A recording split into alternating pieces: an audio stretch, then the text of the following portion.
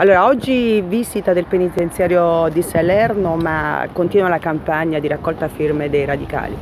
Sì, del Partito Radicale, su otto proposte di legge di iniziativa popolare che riguardano i temi della giustizia, del carcere e delle riforme istituzionali. È una campagna che si svolge nel silenzio dei mezzi di informazione, purtroppo, e quanto al carcere, io ci ritorno dopo un po' di anni. L'ho visitato sicuramente quando ero parlamentare e anche dopo. E questo è un carcere difficile, eh, come lo sono molti penitenziari, la maggior parte dei penitenziari italiani. Eh, quello che è importante è che il 22 di questo mese eh, mi incontrerò con il Ministro della Giustizia. Era un incontro che gli avevamo chiesto già come Partito Radicale dal mese di agosto.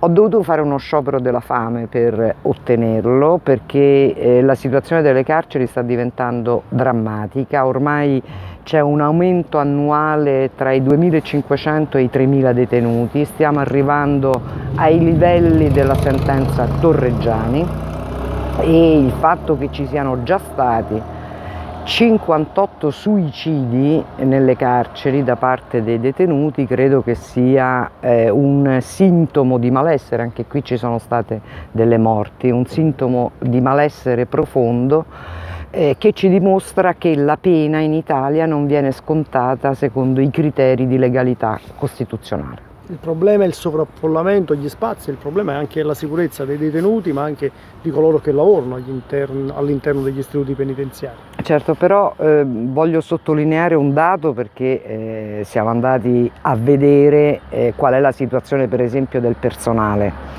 Noi abbiamo eh, che eh, l'80 oltre l'80% del personale è costituito da agenti di polizia penitenziaria. Solamente il 2,15% è costituito dagli educatori.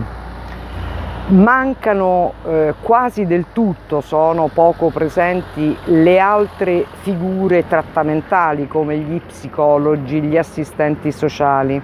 E allora uno riflettendo su queste cifre dice ma il carcere, secondo Costituzione, non dovrebbe essere qualcosa che fa migliorare le persone che vi entrano, lo dice l'articolo 27.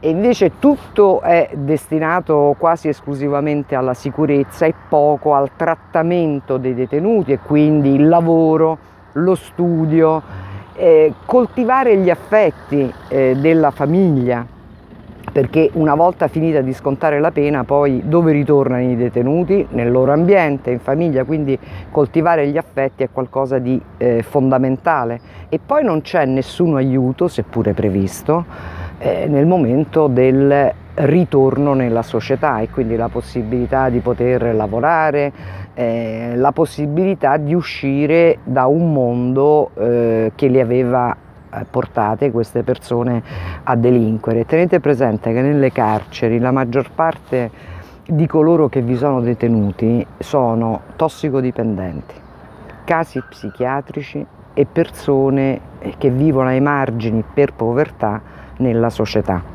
Questo è il grosso. Poi ci sono altri eh, tipi di detenuti, ma eh, è proprio sintomo del disagio sociale, cioè i casi psichiatrici eh, che vanno a finire in carcere e che gravano poi nell'amministrazione del carcere, vuol dire che non sono seguiti sul territorio. Da qualche istante Rita Bernardini, l'onorevole Bernardini con il dottor Donato Salzano è entrata nel carcere di Furni con una delegazione in visita alla struttura e ai detenuti. Una speranza e tante aspettative. Eh, oggi pomeriggio una conferenza stampa al Salone dei Marmi a Salerno e un compegno sulle otto proposte di legge. Speriamo eh, in un futuro sicuramente migliore per la giustizia italiana, per i detenuti e per le aspettative dei familiari.